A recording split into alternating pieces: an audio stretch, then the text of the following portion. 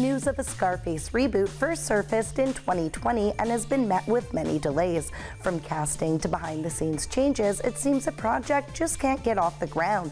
And sadly, it's been hit with yet another roadblock as now it's lost its director.